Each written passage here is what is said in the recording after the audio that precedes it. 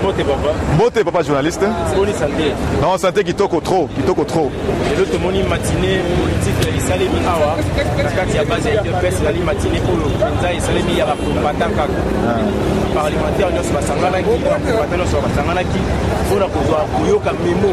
Mais nakolandisa makambo balobi wana namoni yo mpo oza na mwa makanisi na yo. Oyo ya yo ezali nini? Bon. kuna na kati ya matine mingimingi eza sensibilisation et na conscientisation epesi mingi sur l'idéologie na parti ndenge ezali me makanisi na ngai mpe na complete yango na nzela ya etando na yo ya micro na yo ke toza na mwa toloba yango mpe verité toza na mwa makambo mike mike ba incomprehension ya bato na mitu na bango sur ba statut ba interpretation ya statut hein? na ndenge bazozwela bato makanisi na ndenge bazolobela yango bosolo be lokuta mais tolingi te bato moko bagagne tolingi te bato moko baperdre balobake tosala échec bango bagagne te toza bomoko toza na parti moko soki moto aza na likambo tokoyebisi mpe verité tokoki mpe solution na yango mpo totrouve kimia ezala Yango tosali ke mpo na kimia ezala, tozwi mokanda oyo tobengi yango nous voulons la paix et l'unité du parti. Okozwa yango malamu malamu, nous voulons la paix et l'unité du parti wana nde sikoyo message na biso tosengeli na bakonzi na biso ya parti na autorité morale na biso atala biso makambo oyo apesa biso kimia oyo na kati ndenge toza nango ya parti nous voulons la paix nous voulons la paix et l'unité du parti mais mpo tokóma wana mpo tokóma awa esengeli ke mwa démarche mwa réflexion esalema na yango démarche na biso na réflexion biso ezali ke tokende na boye na mokanda oyo tobengi euh, activer l'article 23.12 ya statut na biso ya 2013 elobi ke statut ezoloba boye ezopesa ndingisa na président ya parti po autorité morale acreye département oyo esali mpo na besoin ya parti ekende liboso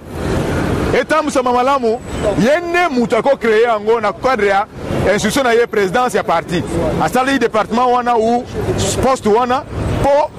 esala pont entre ye na parti mpo na kati ya baclivage na kati ya biloko tomona oyo totya motu moko oyo ya poi ya bwania ya mayele ya parti oyo akotya eh, pont akosala pont entre autorité morale na parti na biso idps na yango tobengi yango inspection générale du parti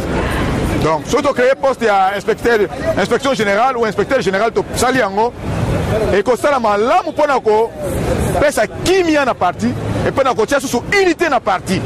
donc eza na kati ya article ya statut na biso wana eza ba réflexion eza proposition si apprendre ou à laisser bato nyonso bakondima yango te mais eza ngai nakanisi napesi mpe likanisi na ngai ezala bongo nde likanisi na ngai ngai na propose parce que tolingi kimia tolingi mpe parti ezala na bomoko ndenge tozalaka ndenge papa atikaki biso ndenge mpe joshua azobela biso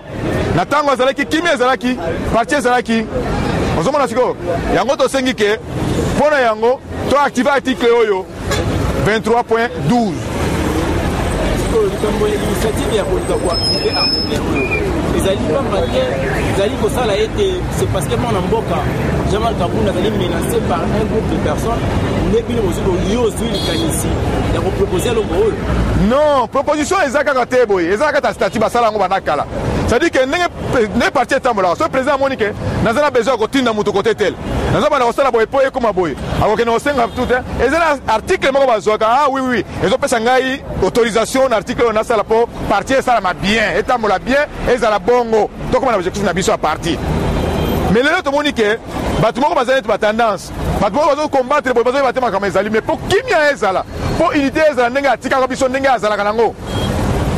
biso topropose eza proposition eza réflexion ya prendre ya laisser na biso tomoni ke soki président atangi article 23.12 ya statut na biso ya 2013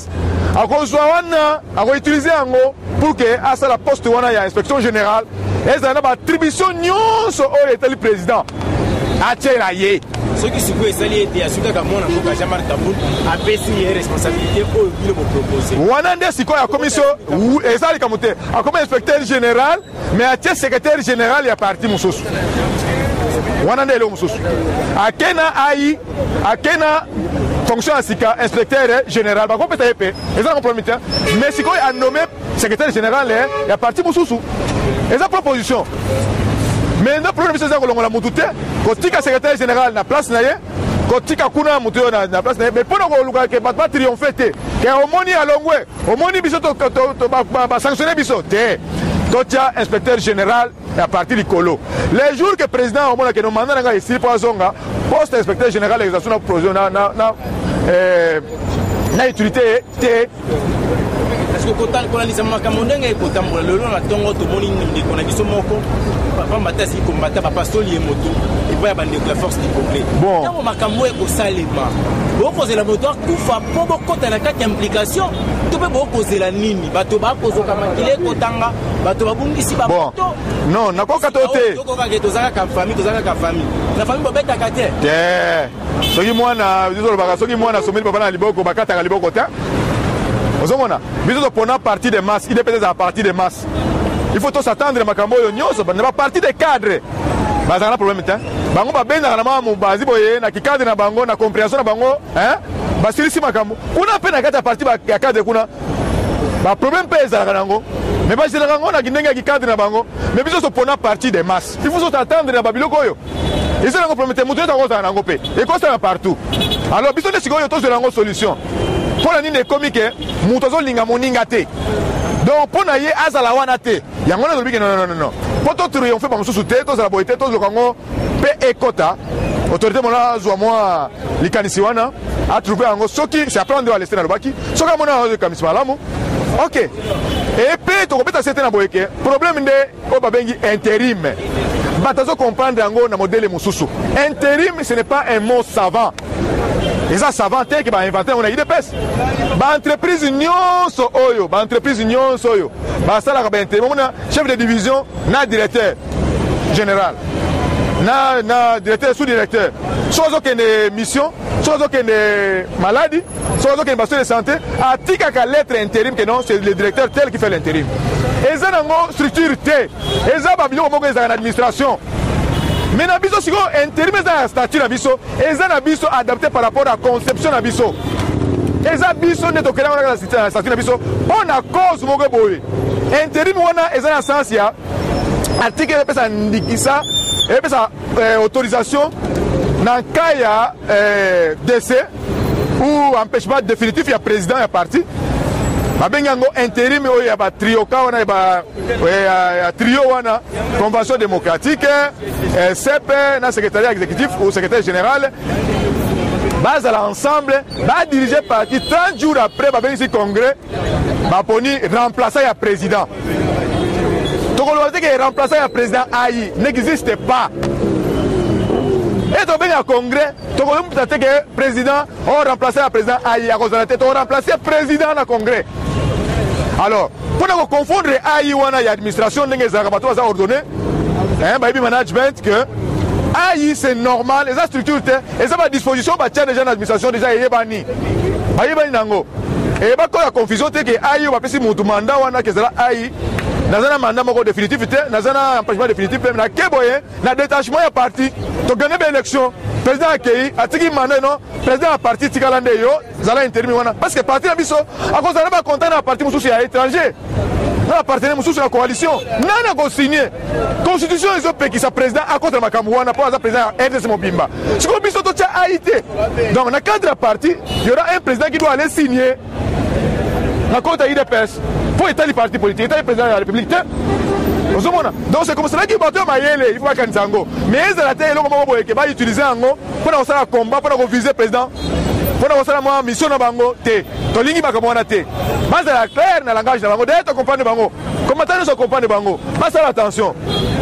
basala attention parce que quand vous jouez le malin comme ça ekozongela bino nazongisa bino ke autorité morale na biso oyo oh, président république aza wana aza organe ya consultation aza organe ya consultation na parti aza organe ya consultation yo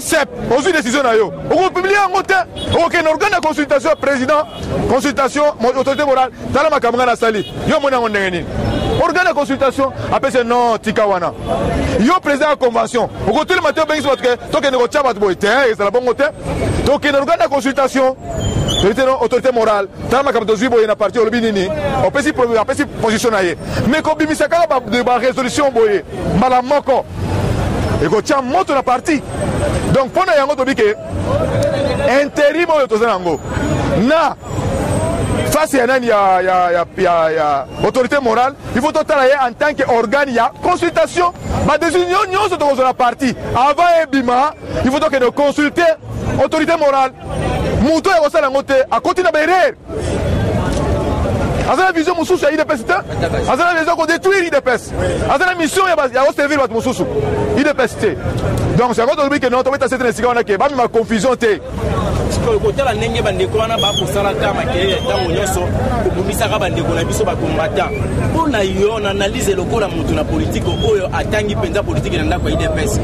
vision ya bato oyo wana malolenge bakosalela makambo mpo na yo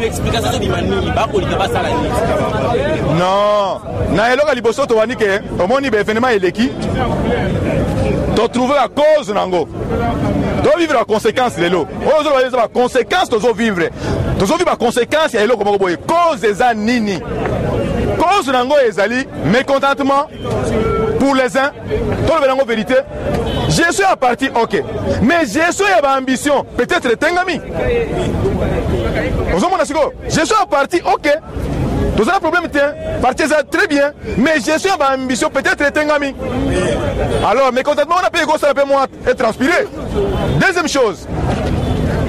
eza mpe conflit mosusu eza na motu ya motu ye moko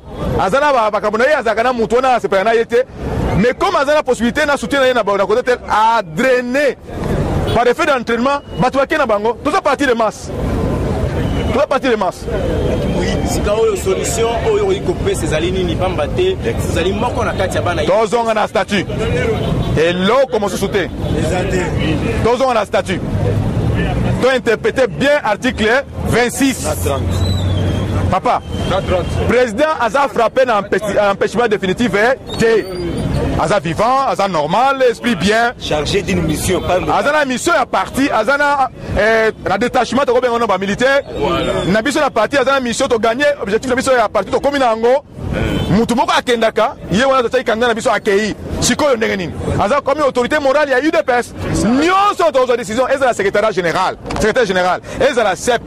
ezala convention bakokende koconsulte organe ya consultation qui est l'autorité morale mais mutu ake kuna te azwi badécision nyonso ye moko il faut azwa sanction me ngai nazotyama ye na monoko te ba sanctionner bango ba ba ba, ba sursoir ba sursoir fonctionnement ya ba ya, ya convention démocratique na CEP nan mais le moment venu tokolamusa yango mais je crois que bakozala susu te mpo bamonani ke basali bazosala mission bamonani ke bazo accomplir mission bamoni ke bazo trahir bazo travailler pour le compte d'une autre personne mpo oyo aza idps tokende baélection tokomi na président tozwi nani imperium mais est ce que tokoki agite susu mai non biso na mboka na interieur toyebi nyama moko boye aneti ngando mais aza ngando te soki na tongotongo basi bakendaka na tongo na mai bagroupe soki bamasi ya liboso batoki mai esili akendaka uniquement mpo apanza mai abebisa mai mpo bocola bofinga bamama wana balekaki awa ozomona sikoyo bakanga bango basorcier bandoki mpo nini bapanzi mai biso mpe totoka mai te tala moko ekomi salite nyama wana banyama wana baza ebele kuna baza ebele mosala na bango yango wana koagite kaka mai bakomplike fete baza capable e bamonisi yango deja Non, autorité morale akota likambo wana. Liboko na ifo eza mulayi. Eh, soki maye eza mpe abeti mpe maye eh. eh, avandi mpe mbala moko afandisi bango totika bino nani bovanda basala yango na ndako na bango basala yango na ndako na bango na bana na bango me na idps te ozomona batika batika eh, batika baorgane ya parti efonctionne mosusu très bien mais mpo na koservir bato mosusu yango tomisi makanisi totangi article 23.12 elakisi ke président akocreye baorgane mosusu président akocreye badepartement mosusu oyo tokozala mpenza nde inspection générale ya parti ekozala mpe mpo oh, aye ezopesa bango kobanga mpo bato batanga mingi te baza ebele non excuse nga Eh, asala ne droit na ye me talaka atanga biloko ya soir wana kende akende te ayebi te interim elakisi nini interim na biso statutaire eza na mako bakambo na yango ndenge batia yango interim du président ezalaka na statut na biso mais mo interim eza savante ya motu tel te Mot interdit mais existela yango na français banda na latin kutu banda kala elakisi ke oyo aza subalterne oyo alandi moninga moninga soki aza na maladi moninga soki ake mission moninga soki adeplace moke akozonga atikaka poste na ye fonction na ye na moto mosusu ah, babengi yango interim mpo na nini dokima nyonso fa eleka wana ifo asala nini asigne c'est ça l'intérim nsuka ezali nini par rapport ya martine ya lelo koyoka ndenge morale epesami epuis conscientisation oyo bakambi mpenza ya baparlementaire nyonso basali ya lelo bon nakoloba ke il faut tozala bomoko idps ezalaka neti mama na biso ka neti ezala mama na biso moko tolalaka tolamaka tokanisaka docteur etienne babiloko ya pambapamba te tokonisa docteur etienne totala autorité morale na biso ndenge azwala na biso biso toya besoin tokende na 2023 toleka yango pepele peple abetela biso maboko peple avote biso tozala mpe majorité na nini na parlement na baassemblée provinciale partout na sénat mpe mais soki tozoi banyama wana bazoya kobebisa mai soki tomoni banyama wana bazoya kobebisa mai tokotala bango te cette fois-ci tokozwa bango en charge mpo tokompani jeu na bango baojoue jeu ya ennemi ya adversaire azala jeu ya baadversaire alors na yango nayebi bacongolais nyonso batalela eh, président faci bapesaka confiance nde bapesaki ye na le 30 eh, décembre 2018 bapesa ye confiance wana kaka ezala kaka un jour akozongisa mpenza confiance wana peuple congolais na biloko ezomonana vraiment nazosenga bacongolais baza na confiance eza na mwa likambo moke ntango mosusu oyebi te napesi information ngai nazalaka na bandeko oyo wana mingimingi na parlement na parle du peuple deja eza na koyokayoka na mwa se masolo ekobima mwana mboka janine mabunda bakokana ete peuple congolais avota lisusu mokonzi ya mboka te kaka badepute donc kala mingi te bokoya mpe koyoka ekomi mpe sujet soki eloko bongo ebimi yo ozali moto ya mobeko okomona yango ndenge nini bagrain électeur bavota eh, wana bareve moko eza bareve ya moi baluka basambela nzambe bazwa pongi balu basambela nzambe bazwa pongi mpo bareve bien basala effort basambela nzambe apesa bango pongi mpo bareve kitoko ozomona eza bareve referendum lelo referendum lelo referendum bakokoka te peuple congolais nyonso aza na nsima ya nani ya faci mpo na kokoma na esika wana efo referendum eloko mosusu te or oh, peuple congolais azozela referendum te mikolo oyo avote président tosala mosala ya gouvernement ebima peuple congolais ase retrouve kala ezalaki bango bakano se retrouve bato wana bano se retrouve bango baza na sénat ba se retrouva pendant 17 ans plus bazwa ba richesse ya congo ekoma ya bango nde lupango na bango bansetre bango batika bapia congo na parlement baza kuna bapia congo na baassemble na bango provincial bapia congo sikoyo na président fetie ekomi tour ya peuple peuple akopie te me akose retrouve eshima Votre magazine qui bat au rythme de l'actualité. Une réponse à vos besoins en information, un éclairage dans divers domaines. Impartial, documenté, instructif et schéma au cœur de l'info. Retrouvez la nouvelle édition. Exclusivité. Félix et Antoine Tshisekedi, son jour pour séduire alors que son élection historique à la tête de la RDC n'arrête d'éblouir. Le président de la République, Félix Antoine Tshisekedi, décide de mettre le boucher double en présentant son cheval de bataille pour le 100 jours de son quinquennat. Infrastructure, santé, éducation et le bien-être social. Félix Tshisekedi, plus que jamais au chevet du Congolais analyse. Félix Tusekedi, mieux qu'un équilibriste et rassembleur politique. Luc Gérard Niafé, l'investisseur de renom qui a tout laissé pour servir la nation. Mimi Milania, l'homme, le mythe, l'immutabilité. Découverte, Denise Nyakeru Tusekedi, la touche maternelle d'une femme de conviction. Valérie Kabamba Nanguisa, chef d'entreprise, promoteuse. Nation, Jean Bosco Kayombo impulse les renouveaux de la SNEL. Focus, Prince Cocola, Quantitima, une intégrité et un nationalisme sans tâche. CNSS, Agnès Mouad de milite pour l'appropriation de la nouvelle loi sur les prestations sociales. Dossier Eshima, droit de la femme, le combat permanent. Politique, Fofo Kondi, un passionné de la jeunesse à l'Assemblée nationale. Coalition Cash FCC, pénible décollage. Économie, code minier, l'héritage qui divise. Retrouvez l'intégralité du magazine Eshima dans les kiosques. Eshima Magazine, un nouveau standard d'information.